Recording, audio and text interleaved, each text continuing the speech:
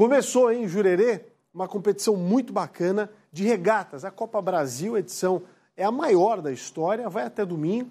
Inclusive tem disputas até no ano passado, no, na semana que vem, hein? Atletas de todo o Brasil, inclusive do exterior, participam desse campeonato. Tem gente de todas as idades e uma garotada que está arrasando nas águas de Floripa. Vamos ver. O mar de Jurerê está mais movimentado que o normal. O vai e vem de atletas no Yacht Clube de Santa Catarina, Veleiros da Ilha, faz parte da empolgação dos atletas da vela.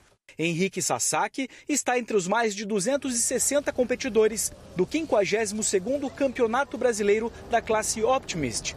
É assim que chama este tipo de embarcação voltada para iniciantes no esporte. É muito legal saber que você está participando de uma competição grande em casa. O emocionante da competição é tipo estar tá com a galera, saber que você está competindo em alto nível nacional. As embarcações passam por uma rigorosa inspeção, desde o tamanho das velas até os equipamentos. A Maria Beatriz, atleta de Brasília, está pronta para competir no mar de Jurerê. Eu estou bastante ansiosa, mas eu estou muito animada. Brasília, a gente vai lá de lá no lago, então não tem corrente, não não tem onda, então vai ser muito aprendizado aqui.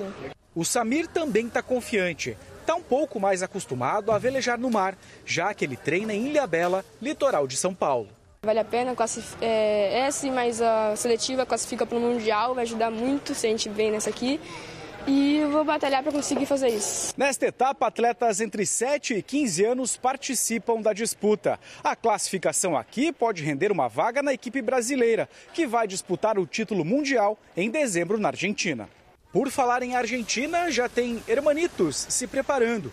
É a primeira vez do Pedro e do Juan em Florianópolis e estão gostando. En, eh, en, Buenos Aires nos venimos entrenando ya eh, y ayer llegamos acá y nada, hoy va a ser nuestro primer día en el agua. Es la primera vez, eh, me gusta Brasil, es lindo. Atletas de nove estados e três países estão inscritos. Até o dia 8 de janeiro, a disputa acontece entre os estreantes. Depois é a vez dos veteranos.